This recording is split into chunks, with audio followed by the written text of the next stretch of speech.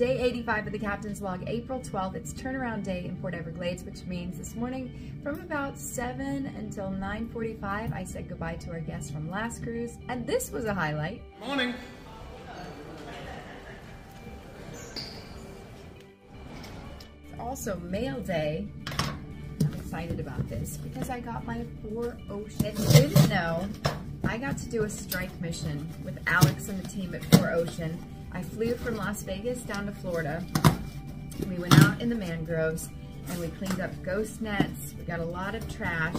And from the trash, we made these bracelets. Each bracelet holds a pound of trash from the ocean. I have been rocking my 4ocean bracelet since Alex and his wife Virginia put it on me during Celebrity Beyond's inaugural sailing. I was fortunate to meet them. This is Alex and this is the team. While we were out in the mangroves, we actually put the first bracelet together.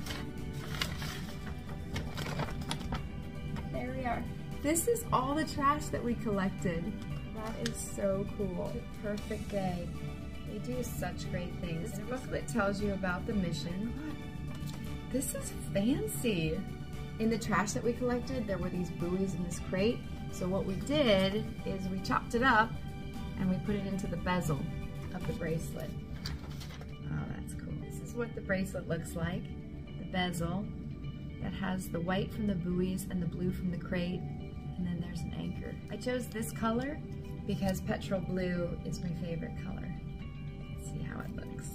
One of the things that I like to do because I don't really like these hanging down, just like I did on my other Four Oceans bracelet, I tied the ends off and then I trimmed them. I used a lighter just on the ends because I'm not removing this until it falls off. That's gonna stay on there. It's limited edition because it's based on the amount of trash that we collected. There were only so many bezels that we could make. If you want yours, you can find them at 4ocean.com.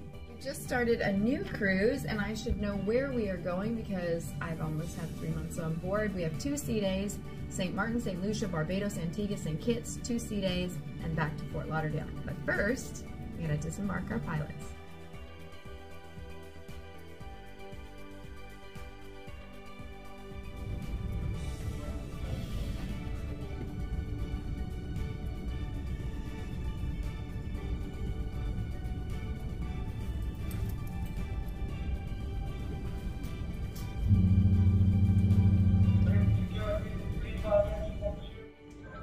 Three pilots for the ship.